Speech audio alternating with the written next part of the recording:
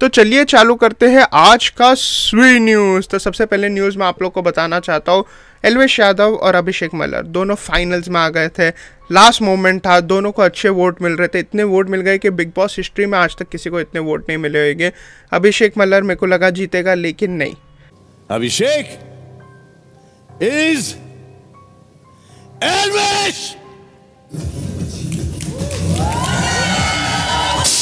first history create हुई, Elvish Yadav wild card entry Bigg Boss में जीता है। बहुत बड़ी बात है, खुद एलविश एक शौक में आ गए थे जब उनका हाथ उठाया गया था, लेकिन एलविश यादव जीत गए। अभिषेक मल्लर भी ग्रेट थे, दोनों को बिग बॉस ओरिजिनल में आना चाहिए ओटीटी में नहीं ओरिजिनल में कलर्स वाले लोग को लेना चाहिए, क्योंकि दोनों अमेजिंग है और लोग टी के लिए तो मेरे मेरे ख्याल से ले गई दोनों अमेजिंग प्लेयर्स थे एलविश यादव जीत गए ट्रॉफी लेकिन यूट्यूब कम्युनिटी को ही आई प्रॉब्लम नहीं है। भाई, अभिषेक मलर स्टार्ट से जो खेले ना गेम, बहुत म... जब वो निकल गए थे मतलब पुनीत सुपरस्टार तो सबको लगा कि बिग बॉस ओ अब नीचे जाएगा। अभिषेक मलर ने जान बनाए और ये गेम को जीता है। सेकेंड न्यूज़ है फूसी ट्यूब की तो फूसी ट्यूब ने हंड्रेड मतलब इतनी बार कम कर लिया, एक यूट्यूबर है, इतनी बार कम कर लिया, फिर एग्जिट हो जाता है, फिर कम करता है बॉक्सिंग करता है, हारता है ये वो।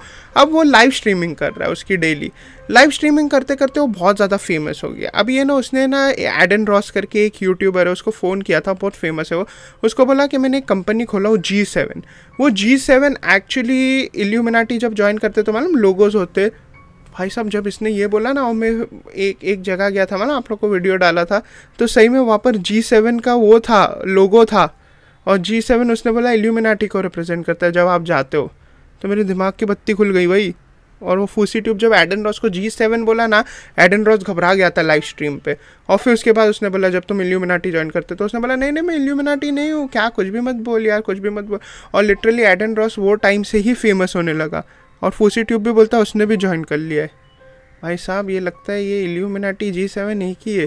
आपको क्या लगता है? थर्ड न्यूज़ है, दुनिया की एंड का साइन तो दुनिया की एंड के साइन बहुत ज़्यादा आ रहे हैं। अभी मैंने एक शॉर्ट्स वीडियो में भी यूट्यूब के डाला था कि कैसा पानी और आग दोनों साथ में निकल रहे वो भी एक एंड ऑफ़ द टाइम है। यही नहीं, अभी तो फॉरेन कंट्री के इन्फ्लुएंसर्स जो मुस्लिम नहीं है, वो भी बोल रहे कि प्रॉफिट मोहम्मद जो बोले थे, वो एक्चुअली 2023 में होए जा रहे हैं। जैसे सऊदी के अंदर डेजर्ट एरिया में फॉरेस्ट आना, बहुत स्केरी सिचुएशन वो हो गया है। और अभी ये ना एक और एक आया कि जो प्रॉफिट मोहम्मद थे, उनकी ये ना एरिया है। उधर कहते कि सात फरिश्ते रहते तो सात प्रोटेक्शन देंगे और उसके बाद कोई अंदर नहीं आ पाएगा। वो सात फरिश्ते, सात एंजल्स की वजह से। अभी ये ना एक मैप आया, जिसके अंदर पहले तीन ही रास्ते थे मदीना को एंटर करने के लिए, अभी सात बन गए। आप समझ रहे हो? सात रास्ते बने एग्जैक्ट सात रास्ते। तो टोटल सात रास्ते होगा वही रास्ते पे बने जहाँ पर फरिश्ते को अलॉट किया था कि तुम इधर खड़े रह गए भाई साहब, मेरे को तो बहुत डर लग रही है, क्योंकि दुनिया का अंत बहुत जल्द आने वाला है। अगर आ गया तो रेडी रहना सब लोग, क्योंकि है तो है, ये तो फैक्ट है, होने तो वाला है। लेकिन इसके पहले भी बहुत चीज़ें होने वाली, जैसा दज्जाल आएगा, दज्जाल जो एक आग का रहेगा, वो लोगों को बहुत गुमराह करेगा। उन लोग का प्रोजेक्ट ब्लू बीम कहते हैं, चालू भी हो गया, अब देखते कब तक होएगा वो प्रोजेक्ट ब्लू बीम जिसके अंदर पानी नहीं दिया जाएगा, लेकिन वो आसमान में आएगा और आपको पानी देंगे। कुछ भी रूप में आ सकता है, वो जीजस क्राइस्ट के रूप में भी आ सकता है, कोई भी रूप में आ सकता है आपको गुमराह करने के लिए। लेकिन जो रियलिटी में रहेंगे, जो जीजस क्राइस्ट आएँगे जो इमाम मेहदी आएँगे, वो सब हमें ऊपर से खुद कान में सुनाई देगा। इन लोगों के पास इतनी टेक्नोलॉजी वो भी कर सकते हैं लोग। देखते क्या होता है भाई, हमको तो बचा लो सब लोग।